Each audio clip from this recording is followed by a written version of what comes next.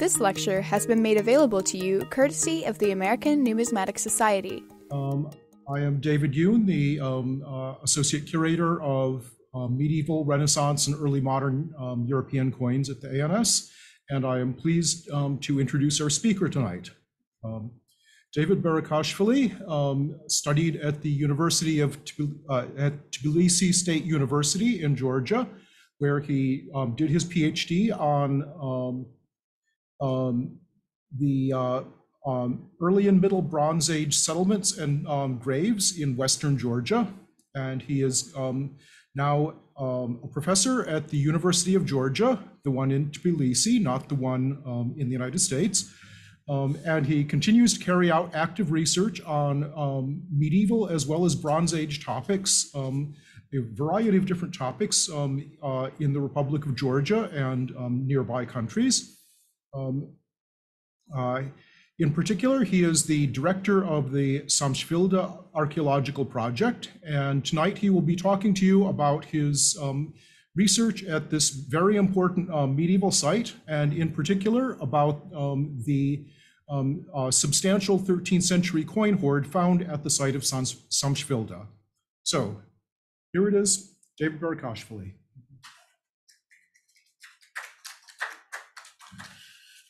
Thank you very much. Before, before I start talking about archaeology and about the main part of the presentation, I want to take a few minutes and to make a short introduction. First of all, I want to say my express my gratitude to the American Numismatic Society uh, that it gave me the stage here and I can share my uh, research, or my, the results of my research here. And I want to express my gratitude to the director of this society, Dr. Gilles Bransbourg, my gratitude to Emma Pratte, who um, I was working about a few minutes ago and making the photographing of the Georgian coins we found here. And I also want to express my gratitude to Austin, who was in the process of the organizing today's event. So uh, this was what I wanted to say.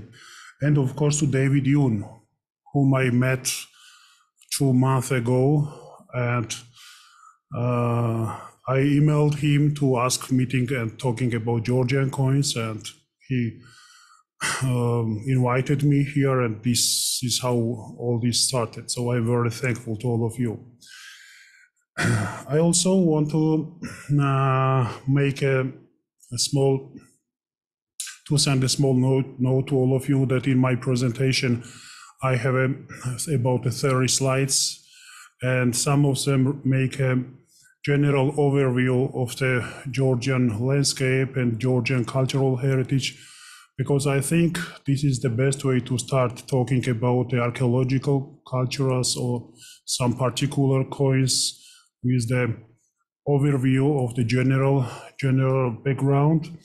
And also want to say that there are some slides that represent a, that represent a medieval graves with the human remains in. So we have some human remain remain photos also in our presentation take as a note. And uh, the last part, uh, definitely I want to say that it was not easy for me to prepare today's presentation because I am not a native English speaker.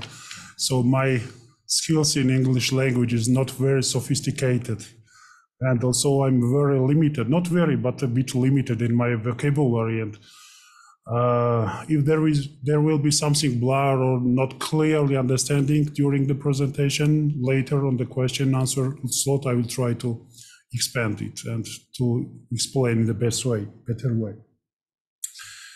Okay, now I want to start this uh, presentation with the first slide, with the first slide that makes a sense about the country of Georgia, which is a small land in the South Caucasus, but in terms of nature and the cultural diversity is very beautiful, very attractive. It is uh, washed by the Black Sea waters from the west side and borders present-day Turkey. From the northern northern side, it's surrounded by the uh, permanent glaciers and the high mountain system, Caucasian mountain system, which is very very attractive for the for the tourists, particularly in the winter time and in the summertime as well. Uh, also, there are uh, very photogenic and very spectacular valleys, gorges in the plains of the country, and uh, several hundred rivers and uh, lots of interesting uh, touristic destinations. And in particular, southern part of the country, there is a unique, uh, unique outcrop of the clay and of the different metals and this part was particularly important and attractive for the people who lived here in the prehistoric times, or even in the prehistoric times, they could have access to the clay, to the metal. So this part, the middle and the southern part of the country, is very rich in archaeology, in archaeological sites, in terms of archaeological sites. So, like the landscape and the nature, also cultural heritage is very rich and very various, various in Georgia. So, after the excavations, we have here the sites starting from the uh, Paleolithic times up to the 18th, 19th centuries. And the different artifacts we have from this site help us to understand what was the level, let's say, of goldsmiths in the classical period, like this, uh, like this golden head headdress makes sense to have an idea about the fifth, sixth, fifth centuries BC, what a goldsmith's level uh, they had. Also, this necklace of the second millennia BC, second millennia BC for the Georgian historiography and is a middle middle bronze period. So in the middle bronze period also it was very high level of the goldsmiths and the metallurgy. This golden goblet also is attributed to the middle bronze age incrustated by uh, precious and semi-precious stones and comes from the burial mound of Trialeti, which is also the southern part of the country and uh, and this iconic golden lion also the bronze period which is kind of a symbol of the power and the goldsmiths at the same time and very is kind of a brand for the georgian cultural heritage so we could talk here about this kind of uh, artifacts endlessly but we cannot continue.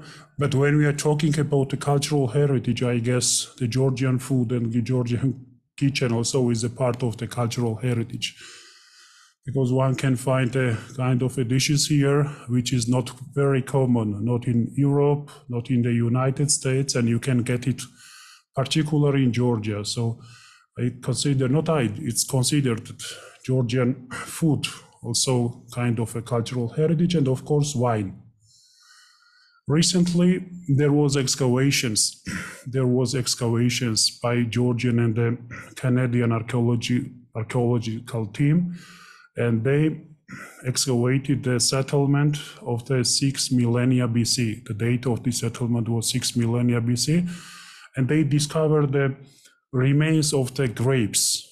And after the palynological studies, the results said that these grapes already were used for production of the wine in the 6th millennia BC. So now we are tend to say that Georgia is maybe not number one or maybe number two. It's a discussion, still discussion between Georgian and Armenian colleagues who, who did the first wine. But we have such a result and we say that in Georgia, they produced a very, very old wine. And sometimes it goes to the cover of the National Geographic or Science and so on and so on. Okay, yeah, here we have a map of the of the small land what I already described, and it borders Black Sea, Turkey, Armenia, Azerbaijan from the south, and Russian, huge Russian Federation from the north. And because of the cultural and natural diversities and also the uh, very um, important location at the crossroad of Europe and Asia, the different people, different different societies, different empires uh, crossed this land during the centuries and millennia. So it was it was Greeks who appeared here in the period of a Greek colonization, which is seventh, sixth centuries for Georgian historiography. Uh, also, Romans were very actively entering the particularly western part of the country, and there are uh, lots of Roman numismatic courts and single numismatic uh, artifacts, coins kept in the Georgian National Museum. There are about a few hundred, as far as now as I know, the Roman, the Greek coins. Um, of course, it was very strong influence from the southern and southeastern regions like Achaemenians, uh, Achaemenian Empire and uh, Sasanian Empire. And this, this was particularly very strong in the sixth, fifth, sixth centuries AD, Sasanian influence, and uh, there are lots of Sasanian coins still we have we do have in the museums and in the private collections as well. Later on, Arabians appeared here with their coins and with their um, influence on the local culture. Later, there was uh, Seljuks with their coins and with their cultural influence, Mongols and Ottomans and later at 18th, 19th centuries, Russians appear and also brought uh, lots of Russian coins and the Russian numismatic courts and the Russian Bolsheviks. And finally, we have the Russian Federation still trying to make the country under the Russian umbrella, so we tend to say. So I did all this excursion because it helps us to understand how complicated and how diverse is the cultural heritage of the country. Because on one hand, it has a local traditional roots, and on the other hand, it had overlapped many, many times by these uh, by these uh, cultures or representatives of different cultures. Now I want to shift closer to main part of my presentation to one particular archaeological site, Samshvilde which is the main topic for our talk today, and a point that part, uh, that, that point, which is the location of Samshvilde site, close to Tbilisi, which is the capital, which is the modern capital of the country today, and uh, close also to Mtskheta, which was the medieval medieval capital of the country, very spectacular and very historical city. So once you or once ever who visits Georgia definitely goes to Mtskheta, Tbilisi, but Samshvilde is less known. Samshvilde is less known. Uh, personally, I don't have explanation why Samshvilde was out of the scientific radars. Uh, probably the reason was a big scale of the site. And in the Soviet times and in post-Soviet times, no one dared to start a big scale excavations of that site. And it was until the until the recently when the University of Georgia started first excavations uh, and sent a team of the archaeologists. But Samshvilde site had very, very, very affordable location on the uh, on this point, which is the northwest part of this very complicated economical, political, and cultural route of the medieval centuries, which we often call a Silk Road. So if we take a close look, we see that it was located, the site was located, the city was located here on this part of this network, which led from the Oriental world, from the Iranian world to the Black Sea shores.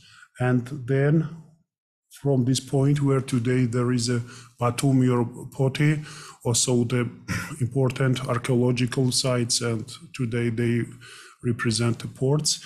The maritime routes started towards to Constantinople. So it had a very affordable location here.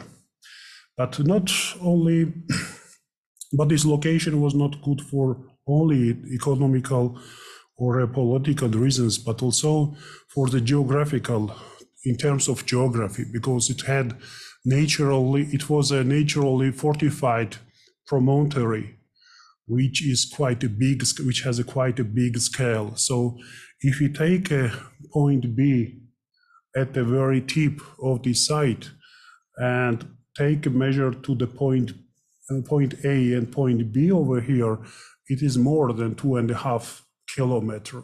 So a huge archaeological complex. And that's that's what I mean when I said maybe it was the reason big scale, no archaeological team, so no one started big scale studies, excavations here, never before the University of Georgia.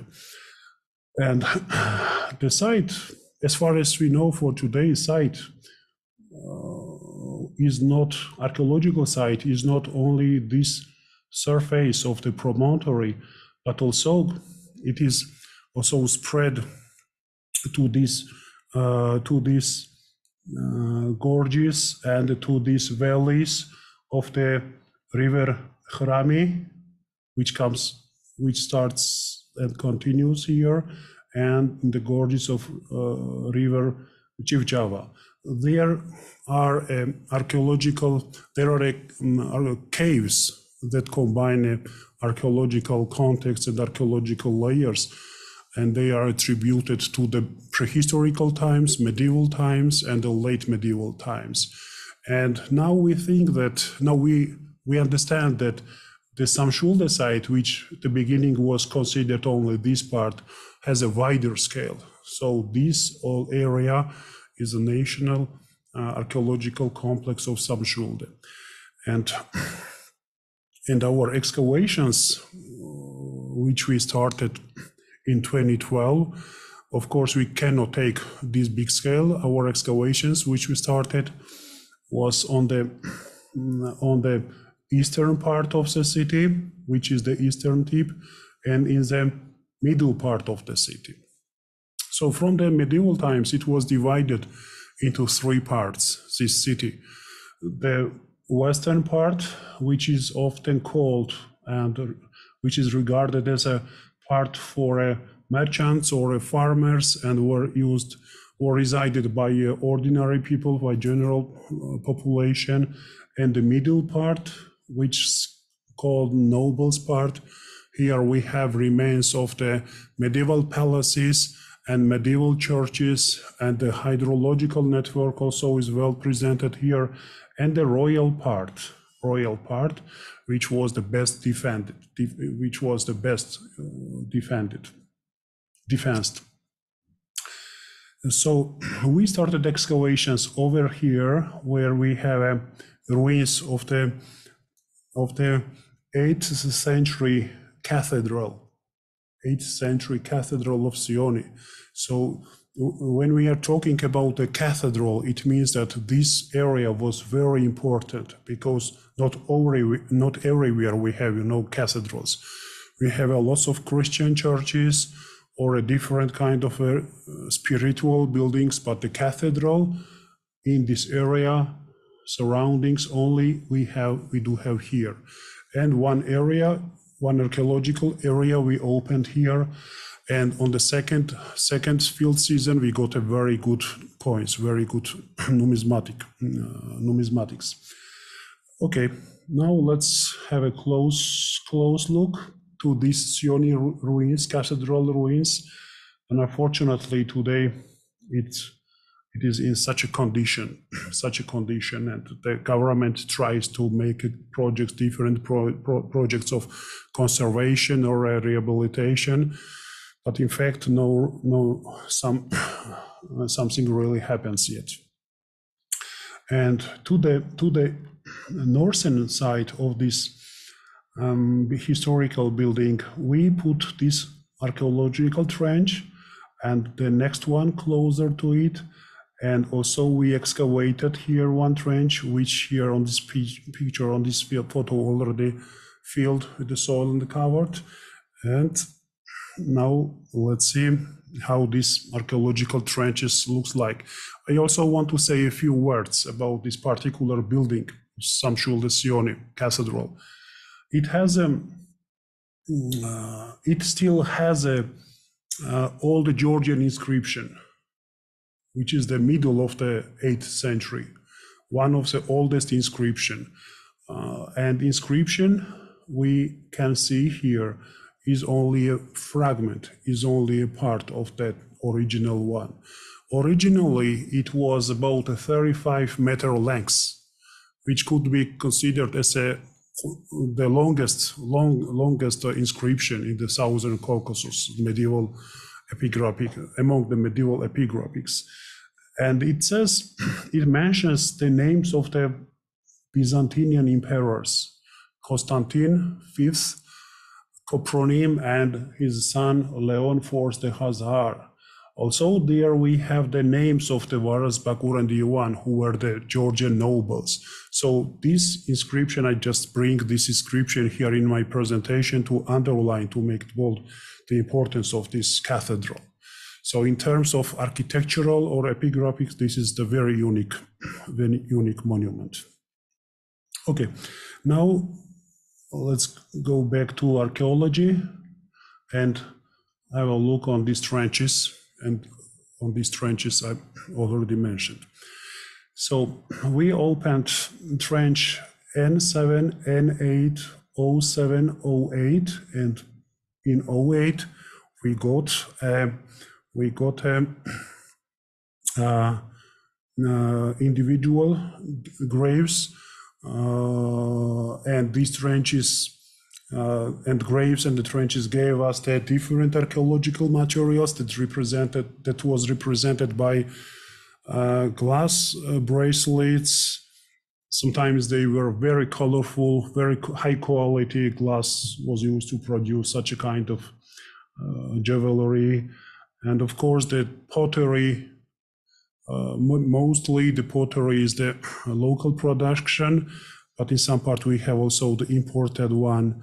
Metal objects we have here represented by uh, needles, arrowheads, some decorations, and sometimes we don't even understand what kind of what does the metal objects mean, and of course coins. First coins appeared right on this place, and it was a few of them from the beginning, but later when we started excavation, these graves uh, then they appeared in a bigger bigger scale in a more amount. So this is the trench 08 and the base and the floor of this trench is represented by basalt basalt. And this this basalt bedrock these graves these pits for the graves were were prepared and in these graves the individual persons were buried and in this particular case, which is regarded as a grave number four, number uh, number four, grave number four. We had one individual, uh, the female individual, uh, who had a kind of a disease, as our bioarchaeologist says. She couldn't. She had a problems with the hips, so she couldn't walk during the, her life. But anyway, uh, she had a she had uh, potteries, potteries in the grave, which were later reconstructed, and we couldn't identify the typology of this pottery. And the pottery goes to the 12th, 13th centuries. And also, she had a numismatic, small numismatic hoard on some place. I will show you now. So it was excavated by Georgian and Canadian students. We were running the archaeological field uh, school in those times, and it was very funny for the students uh, having excavations during the day and then relaxing the evening time, having a water, sometimes wine, and analyzing of the whole day and studying and working. And it was really very good experience for them. But I remember one funny story when first I saw first these coins over here between the between the arms and between the rims that that student the Jane couldn't couldn't see the, the coins there. So she was cleaning the grave for two days you know? And then when she started taking up out the bones i said jane why you're missing the coins? Why you don't pay attention she said where are the coins i don't see here the coins and i said how you couldn't see the coins for two days and then she said, Mr. David, I am a bioarchaeologist and I'm focusing on the bones and on the teeth. And, and I said, no, the bones are good, everything good, but don't miss, please, these, these objects. And then, of course, we got it and sent them to them to the lab of the National Georgia National Museum, where they were uh, cleaned uh, from rust and uh, we got this kind of image. Even before cleaning them, we had an idea that these coins were very impressive, very important, because even under the rust, it was the image of the king. But later we realized that it was not the image of the king, it was the image of a Jesus Christ. And had an inscription around of this image and also on the reverse there was ins inscriptions. And after the cleaning we got this this art this material. This material. So they represent them they represent uh, silver dirhams of the queen rusudan Queen Rusudan is the representative of the Georgian royal uh, family of Bagrationi, and she was the uh, only king, only queen uh, who made um, uh, minting the coins of silver. Before her and after her, all the medieval coins, mostly of the medieval coins, were struck by the copper. So this is very short chronological frame when the Georgian royal family representative started minting of the uh, coins uh, by silver. Okay, let's say a few words. Let's take a close look and say a few words what we got here. So we have here the Jesus Christ. And by the way, when we were working on the numismatic collections you have here in the society, you have two of these coins here in your uh, in your collections where Emma and me were today photographing. So this is also very good result of the of our collaborations that at least you know that you have two silver coins of Queen Rusudan here. Maybe there are more, but we have to see them in the next days in the future. Okay, the Jesus Christ is the center of the coin and the Greek letters I, C, XI the, means then uh, you know the Jesus Christ. And the circular it has the inscription in all the Georgian letters. All Georgian letters that we do not practice today. We do the what we are practicing today is the new Georgian letters. But in the coins and the medieval paleography cases mostly we have these letters inscriptions called Asomtavruli it is it says uh, it gives us the date for Koronikon 450. Koronikon 450 is the date according to an old Georgian calendar. That is uh, that is uh, equal to 1230. So first half of the 13th uh, 13th century. On the reverse, we also have these old Georgian inscriptions, R, S, N. So the short form of the queen's name, and around it there is a uh, there is an Arabian inscription that says Queen of the Queens, glory of the world, and face Rusudan, daughter of Tamar, champion of Messiah. So three different languages, three different letters were used on these coins. And why? Because these coins were circulating not only in the local scale, but in the international scale. If we take, we already had a look on this Silk Road.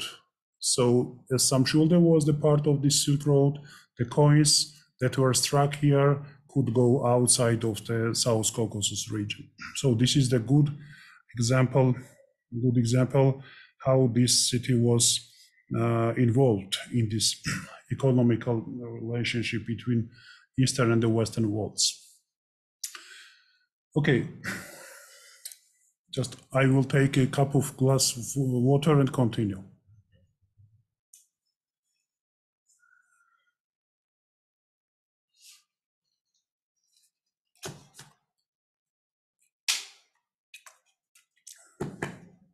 Okay, now let's now let's see what results we have on the second on the second archaeological area here, which is called the Citadel of Samshvilde, and which is about 150 meters away from Sioni area. From here we had these silver coins.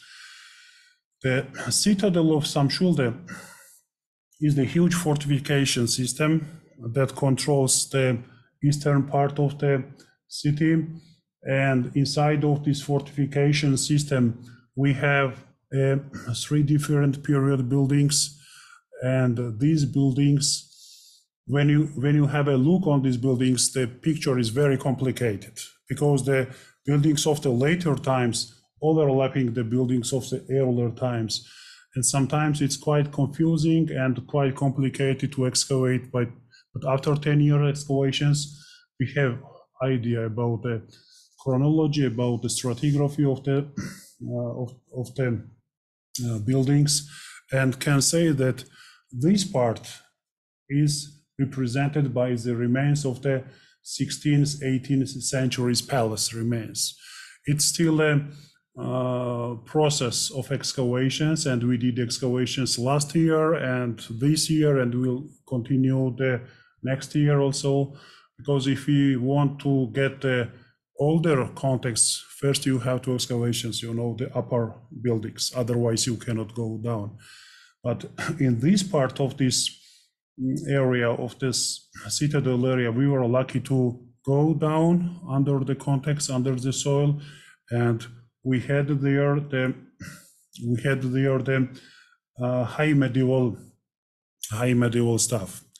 Also, this is important to mention the royal bathhouse, which was connected to the to the royal palace, and they are the same date. And we suppose when this royal palace was functioning, also this uh, royal bathhouse was attributed to it. And here, uh, when we go deeper in archaeological uh, layers, when we went deeper to archaeological layers, we got very interesting, very interesting buildings. The some part of these buildings were survived, some parts of the building were destroyed by the fire. Particularly interested was interesting was the trench number 16. so we have here 99 archaeological trenches. So we have the all the citadel we have under the archaeological grid, and according to grid, this is trench number 16, which was destroyed by a fire. And it was, of course, bad for the people who live there, but for us archaeologists, it was perfect because everything was left on the floor level. So this is how it looked like. These are the walls of the building that still spreads under the soil and this is the interior of this uh, of this room. We call it room. And all these ruins were represented by bricks by roof tiles by um, remains of the uh, wooden pillars and the roof construction. And after excavations for two years our team the team of our students uh, were able to reach the floor level. First it was in that corner, and later on it was cleaned around. And after cleaning the uh, after cleaning the all these ruins, all the all this uh, collapsed material, in this part we identify the wooden uh, char we identify the concentration of the charcoal, which was unusual, and we started cleaning it very very carefully, and the first coins appeared right here. It was in 2018, but it was the last week of the excavations, and after we got five coins and more appeared, then we decided to leave it and keep it for the next year. And we really did like that. And the next year, so 2019, we had a big discovery, good, good hoard of the coins. And yeah, it was right on this spot.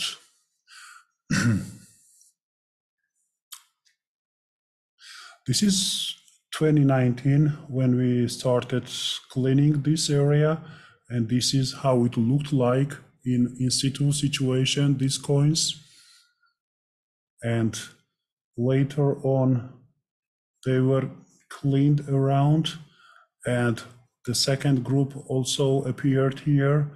And between them and around them we also had a concentration of a charcoal. And also we had here some decorative artistic metal objects that later we realized that also was connected with, with that find with that find.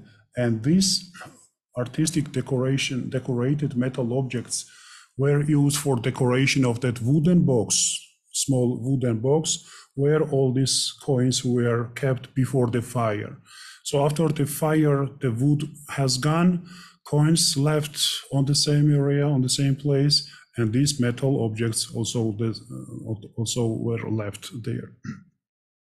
And also there was a, there were this lock, seems this, uh, the cover of this wooden box was attached to the main part uh, in terms that it could close and open, and also lock was used for closing the put a lock on. on.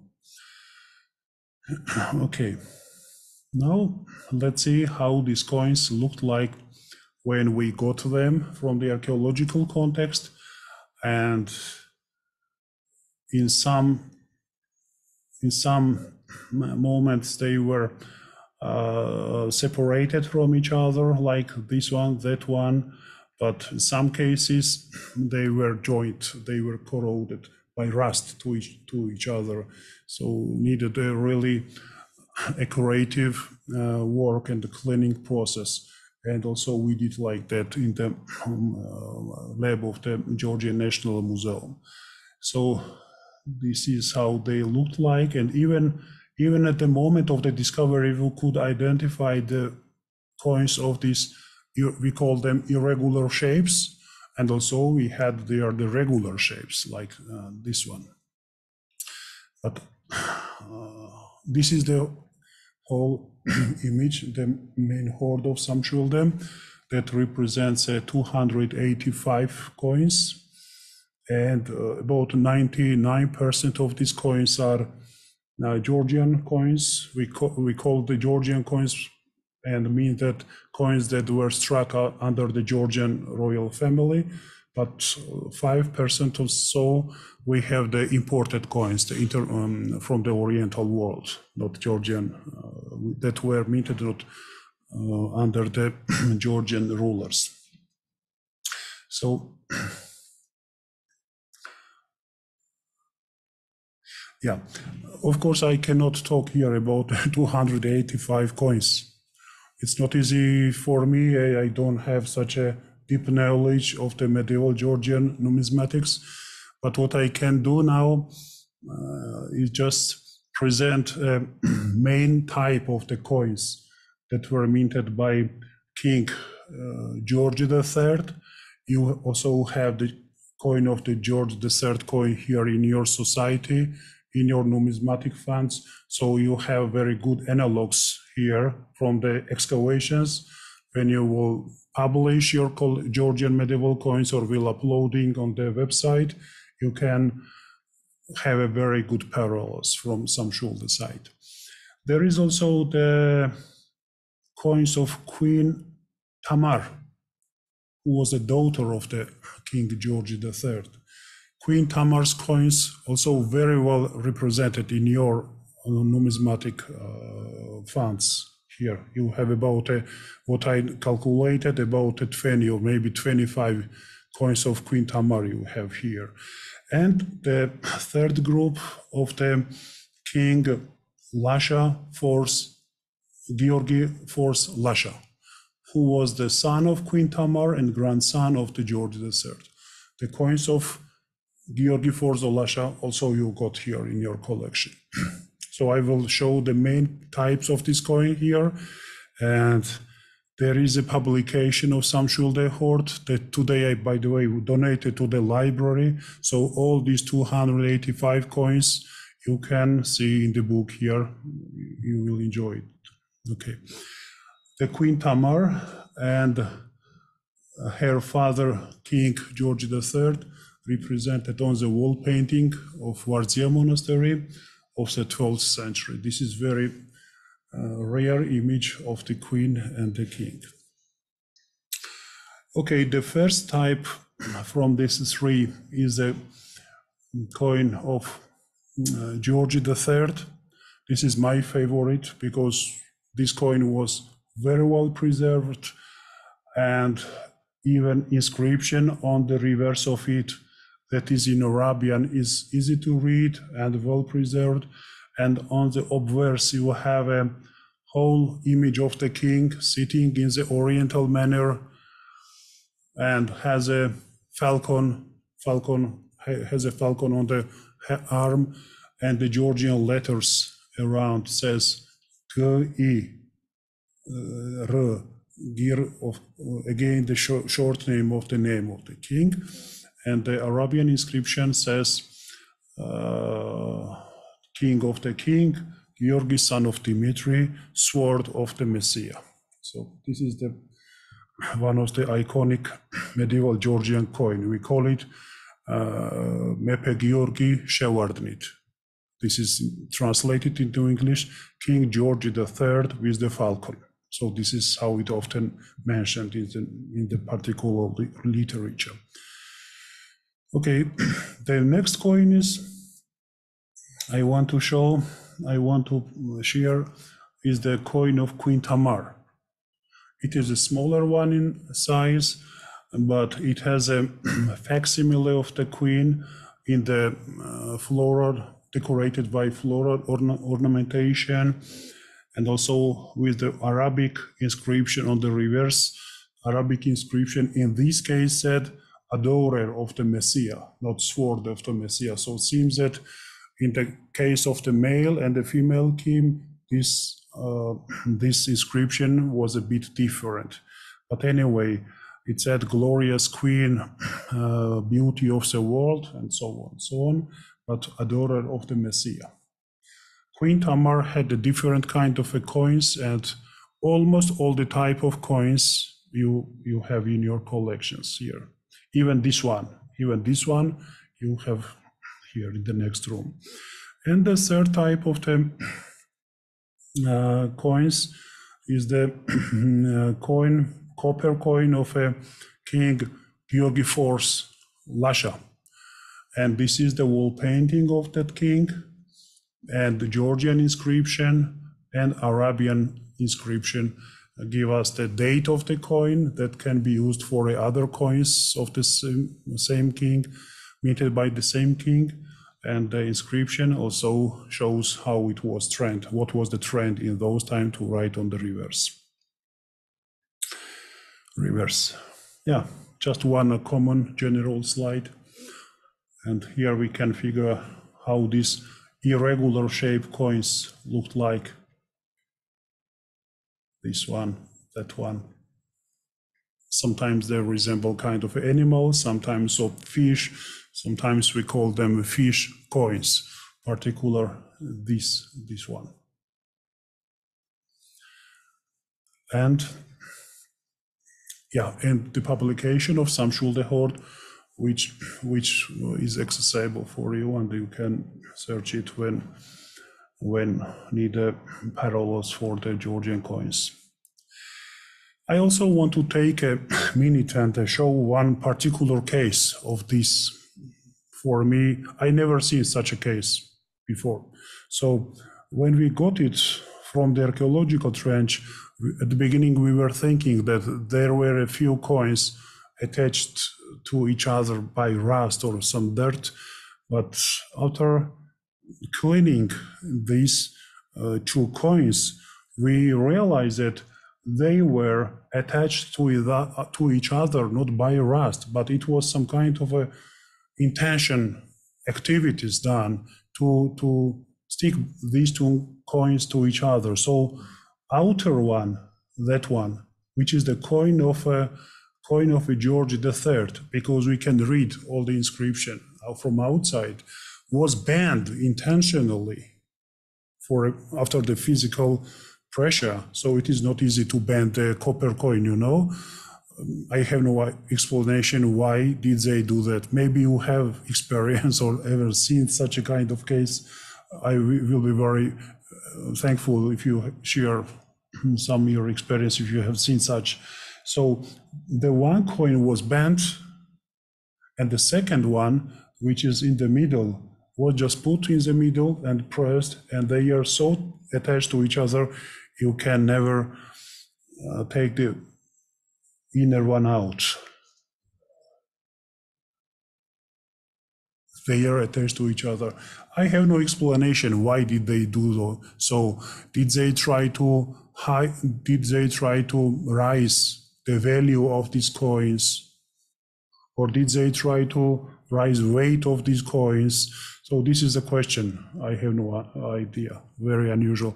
I also had a conversation with my colleagues with the different numismat, numismat the people who are in numismatics, but none of them have experience. No one knows what is, what is this representing.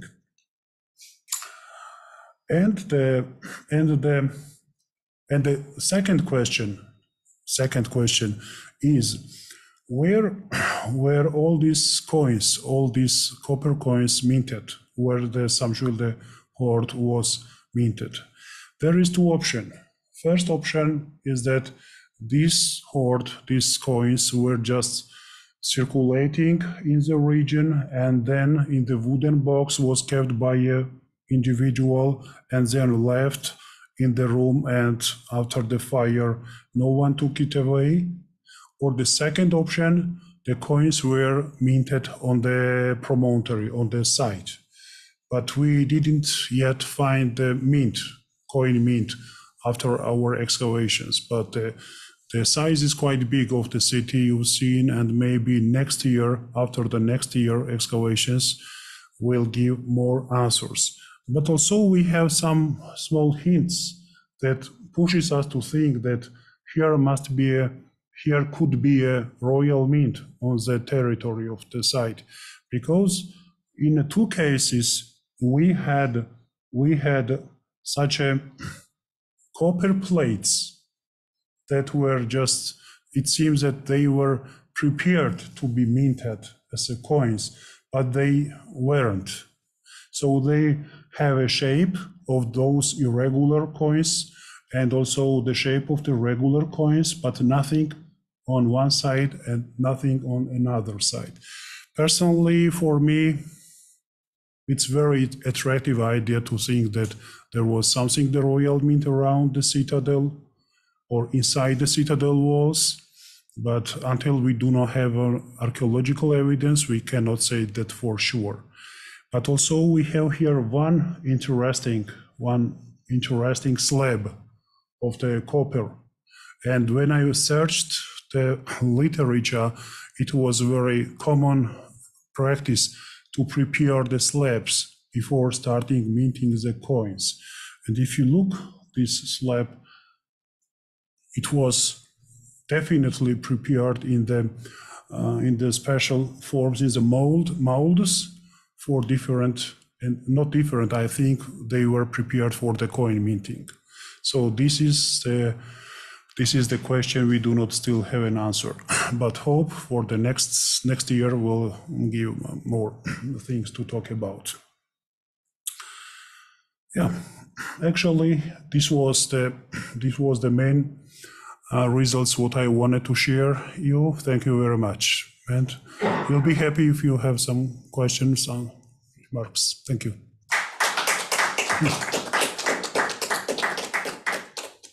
We do have a, a mic here for questions in the room, and we also have potential questions um, from the virtual audience. So I'm going to kind of run around for the mic in person, and then we'll also take questions uh, from the virtual audience. David, thank you for this uh, absolutely fascinating uh, lecture. Um, one thing particularly that, that really strikes me about these coins is the multilingualism of the coins, where you have a Georgian inscription on the obverse and then an Arabic inscription on the reverse. The, the Georgian inscription seems to be primarily administrative in the sense of identifying the authority and sometimes where the coin was struck, whereas the Arabic inscription seems um, to be directed towards a particular audience in the sense of um, a perhaps non-Christian audience uh, and underscoring, uh, you know, the, the Messiah, you know, a Christian Messiah, as well as, um, uh, you know, the keeper of the faith and, you know, things of that sort. So presumably, at least, you know, from my absolutely non, I, I, I know nothing about these coins, but there, there does seem to be a, a very distinctive difference in the audiences and the presentation of these inscriptions on one side or the other. And, and the Arabic, Arabic inscription again seems very pointedly directed towards um, what I presume would be a Muslim audience, um, you know, by underscoring the, the Christian faith of the producers of the coin and so forth which you know raises questions about audience and reception and also circulation of the coins uh, and so forth. But my question is, aside from these coins, do do you have any other evidence from this period of that type of messaging towards that particular um, audience in Arabic language, or does this appear only on the coins? No, only on the coins. Only on the coins we do not have any epigraphic or paleographic uh, monuments from the same time that can be that uh, is in Arabian language. Mainly, we do have this from the coins. And yeah, you're absolutely right when you say that this Arabian inscription was directly to those people who were the Arabian language people. Yeah. So would, would these people be traders that were moving through this area Yes, then? probably Uh, yes. so- Who knows? Maybe there also were the Arabian, the, the people who spoke in Arabian who resided the some sure the promontory or surroundings, but may, mainly these kind of uh, Arabian letters, Arabian inscriptions were for the traders and for the caravans that were passing through the Samshvilde and going to west from uh, oriental side or other side yeah.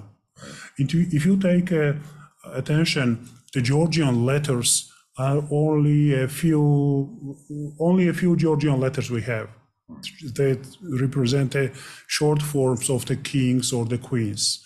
Just one letter r s or g i rusudan or georgi. When in the arabian language case it's a whole inscriptions and the whole letters yeah. Yeah. Right, thank you. for for those who didn't know who was the king or who was the queen. So this long arabian letter saying that this was king of georg george and this was a queen of rusudan sword of messiah and so on so on. So for those audience who didn't know the particular name of the kings. But when having such a coin with the arabian inscription they could they could use it as a international international money yeah We also have a number of questions online. Um, I'm going to invite people who are online to ask their question out. And if you don't have uh, a mic or don't want to ask your question out, I'm also happy to read it out. But um, Daniel Wolf, if you could ask your question.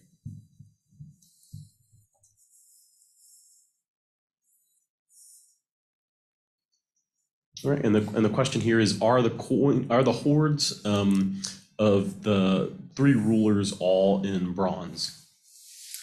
Uh, I'm assuming that's the, yeah, the three different, um, the king, the queen, and the king you mentioned of before. the three rulers, all bronze. The coins, the coins are of copper, copper. The bronze is different, you know. Sometimes copper and the bronze are considered the same, but uh, bronze is the alloy of a copper plus something else, right? But in this case, we have poor copper. As for we did only, we did um, uh, studies of the alloy only three coins, and they show the results show that they are poor copper, nothing else added. So we cannot say that they are a bronze. We do say that they are copper coins. I'll, I'll um, interject my own question here. I have one. Um, I know in you know in Greek antiquity we have literary evidence of um, sort of burying burying people with coins and sort of descriptions of that. That's also matched in some cases in the archaeological record. Um, do you have a sense from literary sources or from other archaeological context uh, why someone might have been buried with coins? Did it have sort of a sort of a religious implication or a deeper sort of funerary context that you speculate about? Yes, these silver coins we were talking about, yes, they were from the graves. But this is the different tradition in the classical time of the Greeks had the coin either in the mouth or in the on the head. This is the different cultural experience.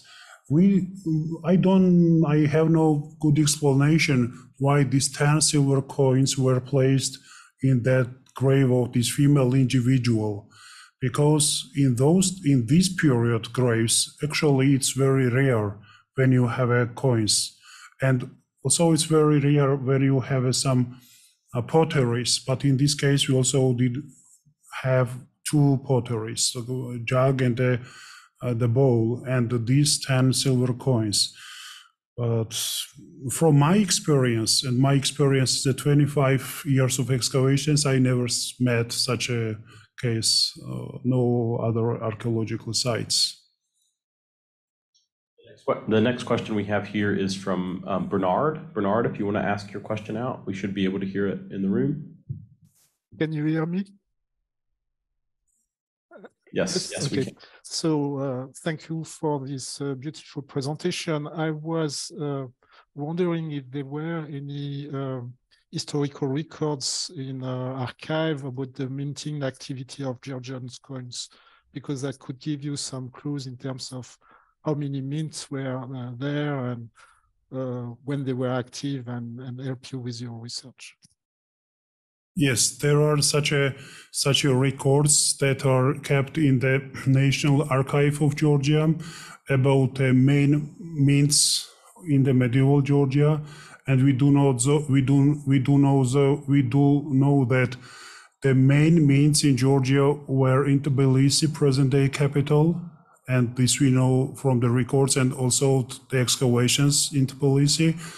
And another mint was in the historical city of uh, Dmanisi, which is very close to Samshvilde, around the 15, 20 kilometer. And also the excavations of the medieval site revealed the mint. And also there is a third archaeological site of Rustavi, where also there was a mint in the same times in the 11th or 13th centuries. So this is what we do know for sure. But for some Samshvilde, we just can suppose until we don't have uh, archaeological evidence of these means. So if you are interested in means and in the records, you can access it in the archives and in the results of these three archaeological site excavations. Yeah, can I ask a second question? Um, the, you mentioned that in the second hoard, uh, the, the, with the, uh, the copper coins, they were uh, coins that were not from Georgia. Can you comment on their provenance? I don't quite understand. Can Uh, you say Could again? you repeat your question there? The the the group of coins that uh, are uh, in copper, you presented mostly the Georgian coins, but you mentioned, I think, uh, that some of them were not from Georgia originally. They were probably from a different area. Can you comment Yeah. from where they were? Yeah, they are called Il- Ilgetisian coins. Ilgetisian coins. And yeah, I didn't I didn't present them here. We do have three of them in this hoard, but they are uh, they are so worn that it's very complicated, very hard to read, or very hard to define what the image them. Only a few letters are survived that our colleagues from the Georgia National Museum could identify as uh, letters. That helps us to think they are Ilgetisian coins. Okay. And do you think they are related to trade activities between uh, the Georgia and uh, this particular region? Uh, they they they they appeared in the um, region of Samshvilde, yes, after the trade activities. Okay. If if your question is like that uh, towards to that, yeah, trade So do you think it's it's commercial activity or do you think there is some toll or tax that is paid when the caravan is stopping by uh, uh, the, the castle? Yeah, probably commercial activities. Yeah. Okay. After the commercial activities. Thank you. It's it's a great talk. Thank you for the question. Uh, the next question here is from Winston Zach, who doesn't have audio. Um, at Samshvilde, uh, are you using metal detectors to locate any of the metal objects, um, such as individual coin finds or coin hoards um, that are found across the promontory? Okay. Uh, we, as a team of archaeologists, of course, are following the methodology, which is the archaeological methodology. And this is this takes a lot of time to do excavations after methodology. But anyway, this is how we work and how we do teach the students to excavate. Uh, our team never used the metal detectors because uh, you know our main goal when when we do excavations is not to find some particular coins or some particular metal objects in uh, in which uh, the detectors can be very helpful. Our main goal is to learn all the contexts of the archaeological site, all the layers. And when you do excavations of these contexts and the layers, sometimes you have a coin, sometimes you have a pottery, sometimes you have a different, different uh, uh, archaeological stuff. Yes, metal detectors can be very helpful when you do, maybe let's say when you do a uh, landscape surveys, landscape surveys. So they help you to uh, just understand what to expect after the excavations. But for a real big scale excavations, and when you follow the methodologies, we do not use these metal detectors. Yeah. Uh, and the next question here is from Robert Hogue. If, Bob, if you want to unmute yourself, or I can read out. The, the next question is to date of the barn layers, Yep. right? Okay, Uh, he's What, on. what- what was the, the date of the, uh, the burn layer of a fire in the royal palace? And was it reoccupied after that shortly? no, when, when the, when that palace was burnt, it was not reoccupied after that.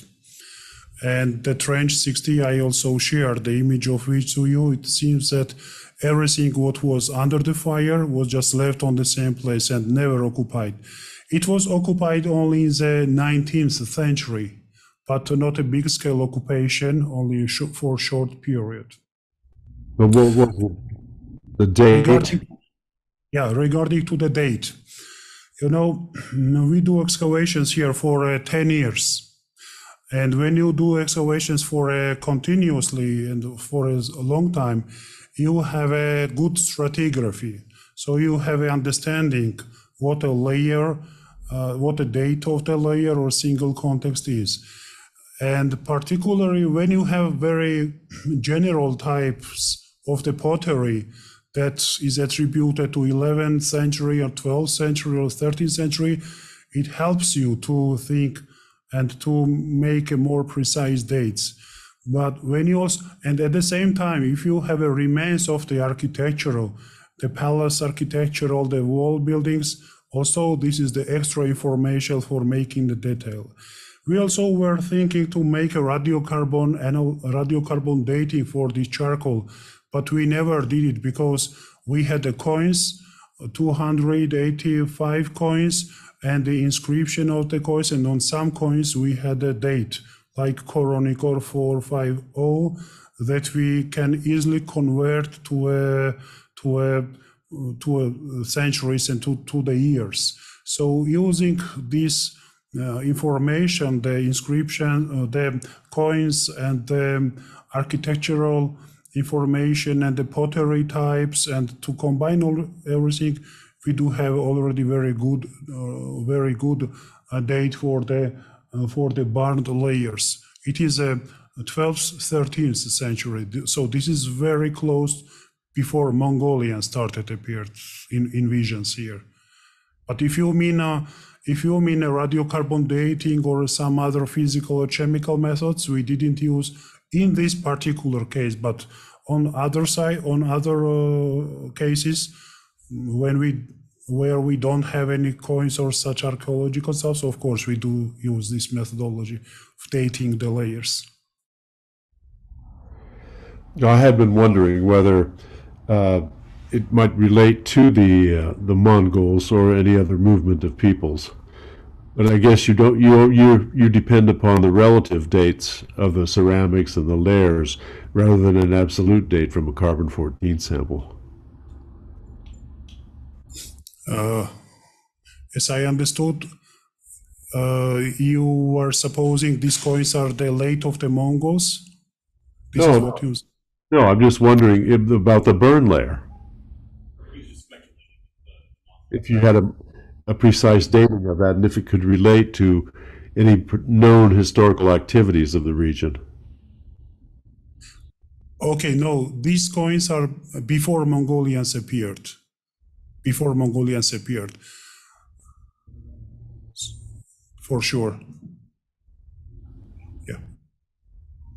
Uh, regarding the uh, irregular shaped coins, do we know why they uh, might be produced in that fashion? And are they the same weights as the regular coins? Yeah, good, good question. Everyone is asking about irregular shapes.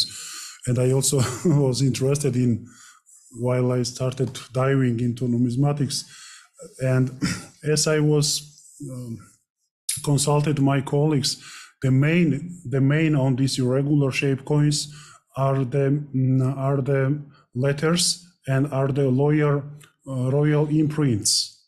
The main value of this coin is the royal imprint that says either name or either facsimile of the king, king or the queen, and not the shape or the weight of the coin.